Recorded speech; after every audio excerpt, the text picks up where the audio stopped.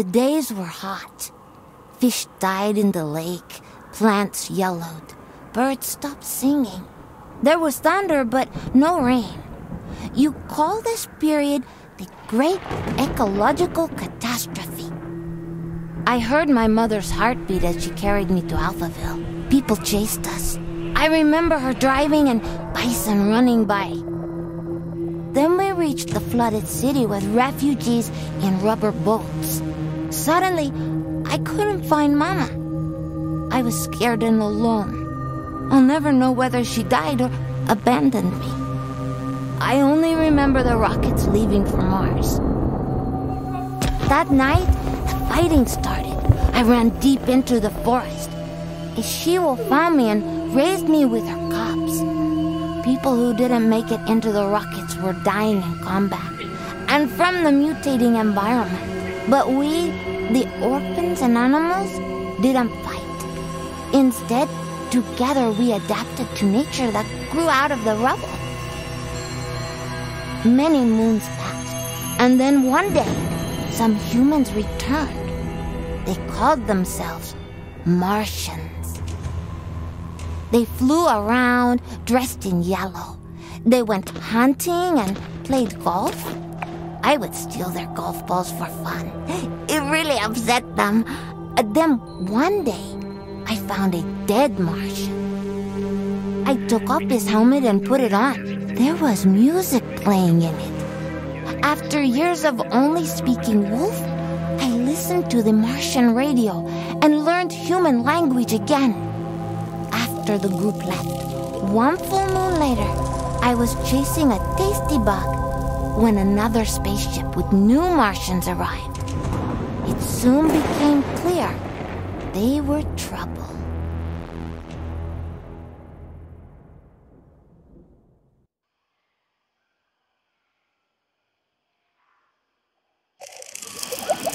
Greetings, all you Tesla City Martians out there. You're listening to Radio Nostalgia from Mars. The show for those who miss a morning run in the park, slurping minestrone soup, sailing with the wind in their hair, singing in unison with thousands of people at a music concert, or smelling the coming rain. In other words, a show for the long lost days of Earth.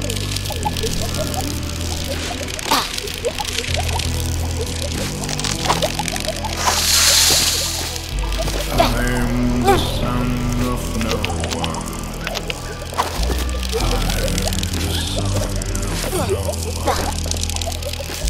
I'm the son of no one.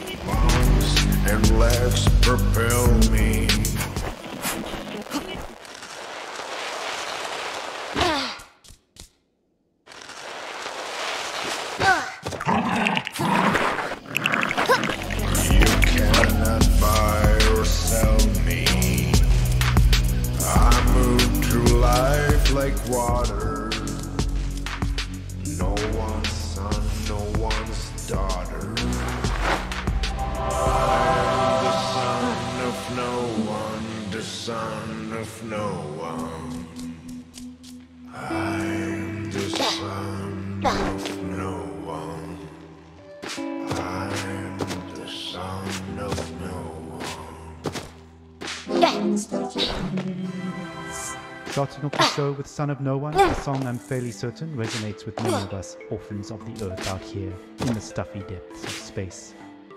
Speaking of stuffy air, please don't attempt to open portal windows to let some fresh air in.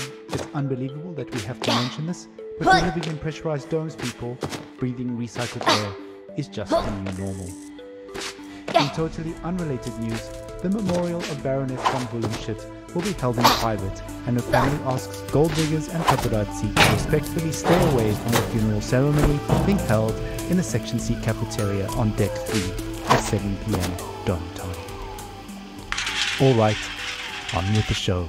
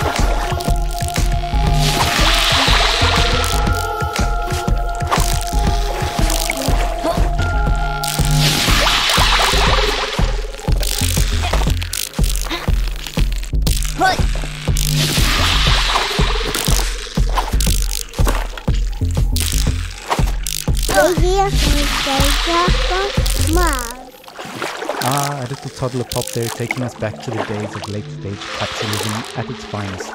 Child labor never sounded so sweet.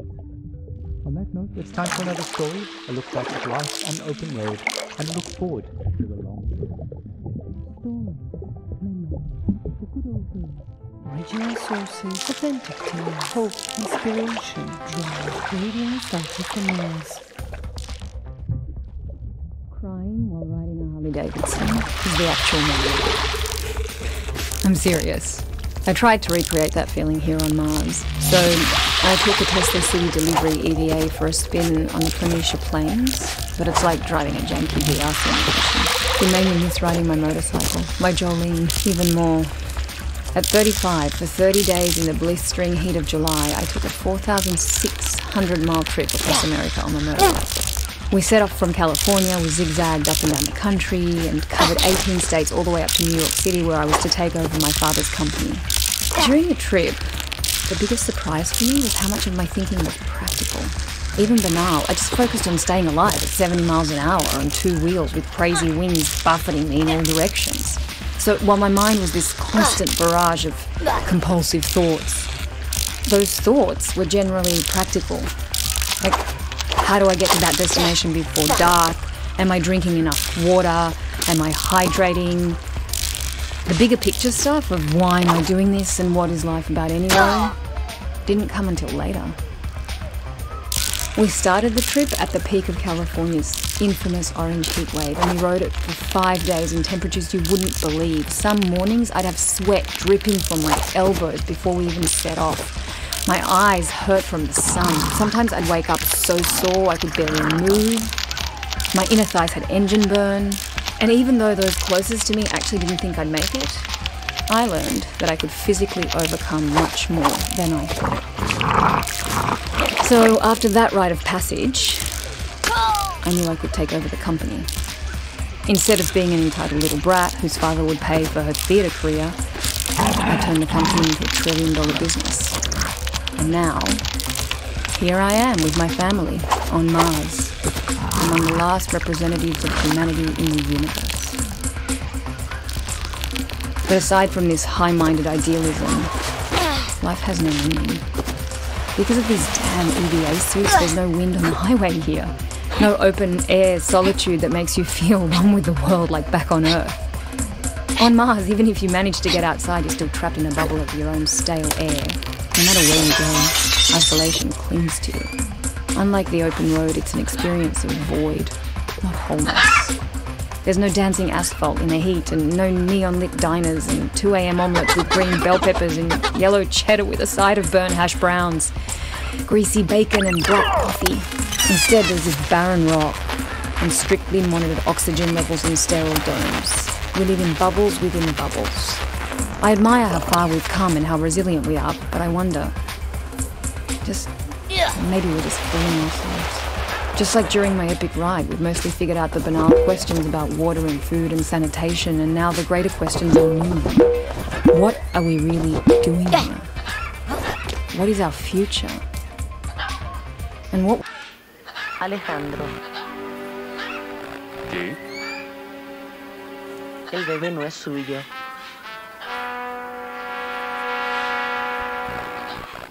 what will the meaning of life be for my kids? At any rate, the point is, I miss my Jolene. That's all. Thanks for listening. انتم تستمعون إلى راديو حنين من المرن Thank you for taking us on that ride with you, Brianna. Your story is an inspiration for all and reminds us to face our difficulties head on and to value the small things in life, even out here on Mars. Motorcycles, grease, wind in their hair. What better way to remember than with some psychedelic rock for the road? Radio nostalgia Mars.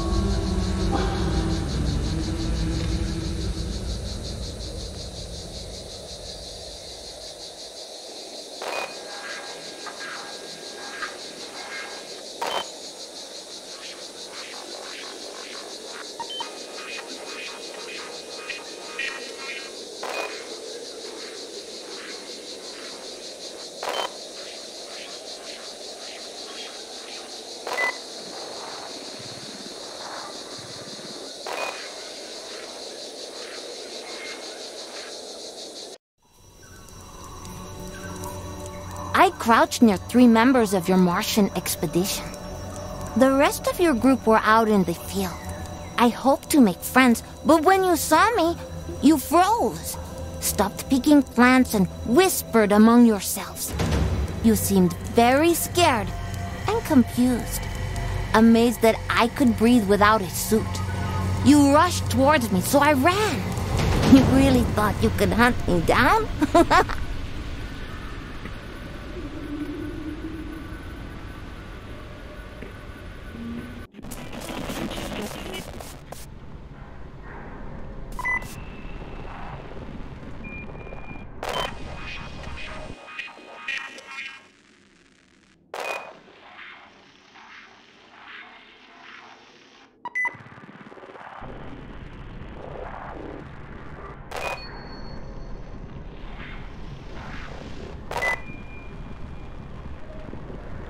Mm-hmm.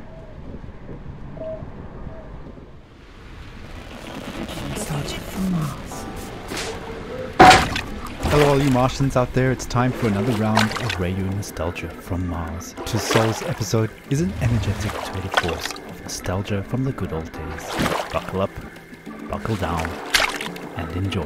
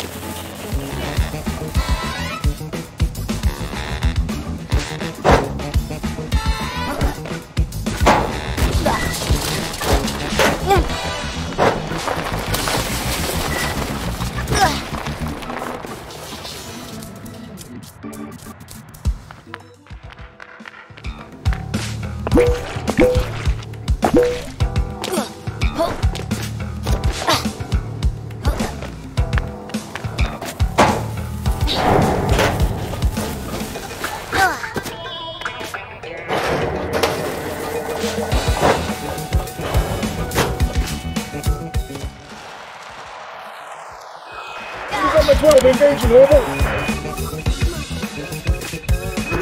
Over the play,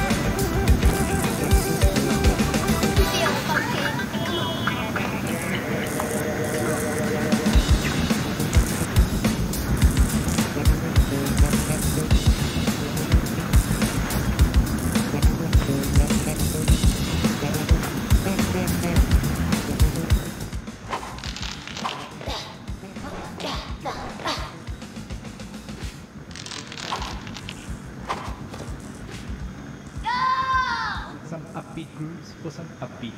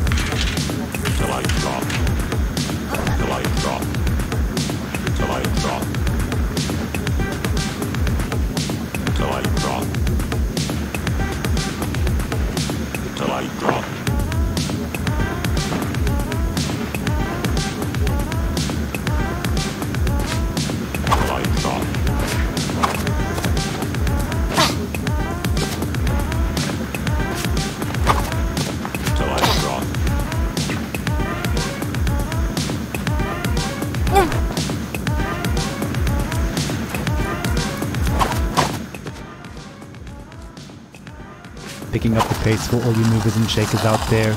A reminder to keep on at it whatever you're doing. So I ran, avoiding the nets. The same ones you used on my wolf brothers and sisters. This whole hunt was for so called research purposes, to see if humans could return here one day. But even with jetpacks, you still couldn't navigate our new terrain. I am a nimble earthling, while you need so much gear just to stay alive.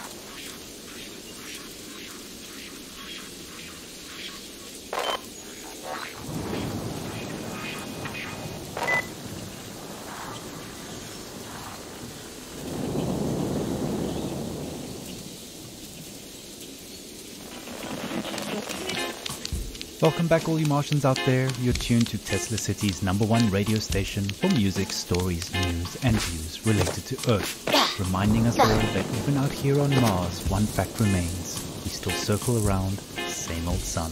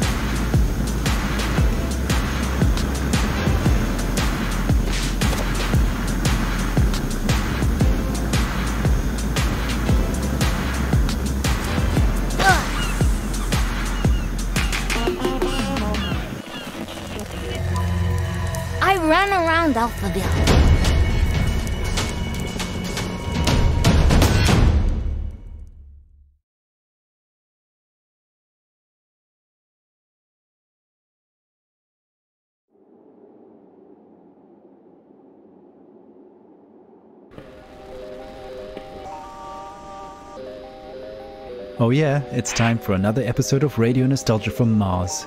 Any soul now, we're hoping to hear from our intrepid Earth explorers who are currently working hard right now collecting botanical, animal, and geological samples to test the viability of us returning back to Earth in the near future. I do hope they have time to catch a breath with all that hard work they're doing for us. It's all gone.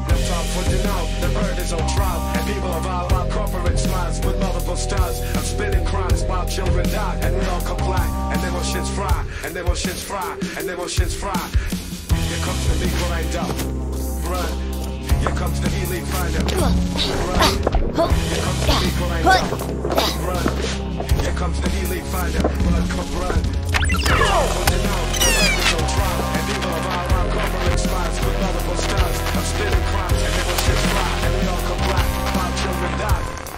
all die children die The only way is for me to land on the asteroid. Honey, but you're just a miner. Who would think that only a miner could save the world? I'm proud of you. Here comes the lead grind up. Here comes the elite finder. Run, come run. Here comes the lead grind up. Run. Here comes the elite finder. Run, come run. So we made it to Mars and then a thing. Ain't all that without a blink, blink, blink. Remember that. It's not a dream. Out here in space, no one can even scream, scream, scream.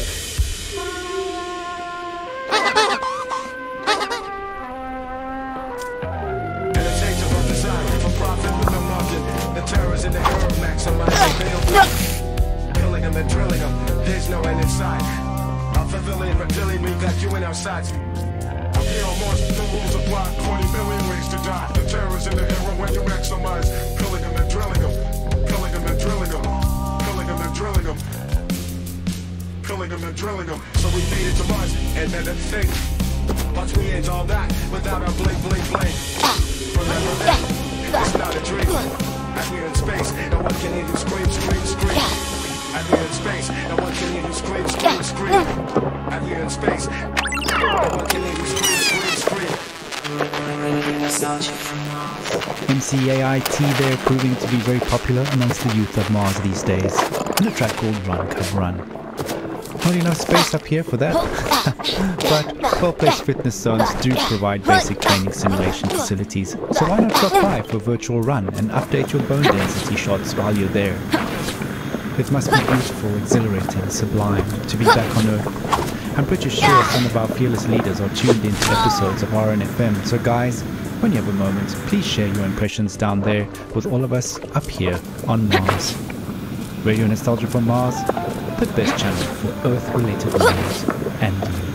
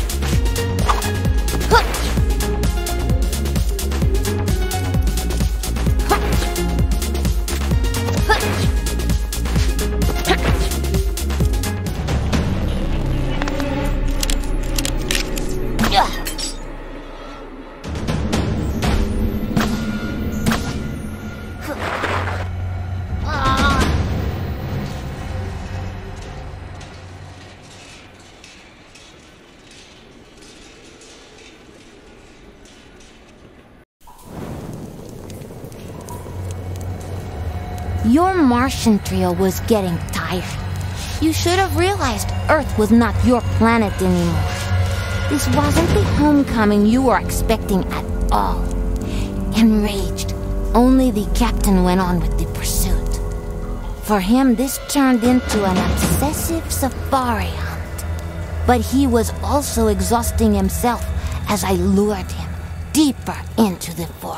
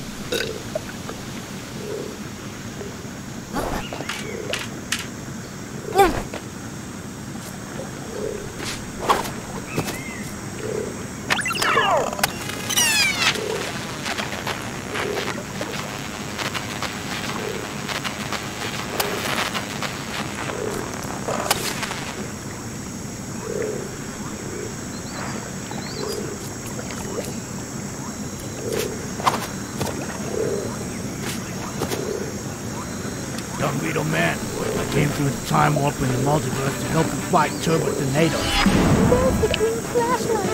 What are you doing here? Who invited him?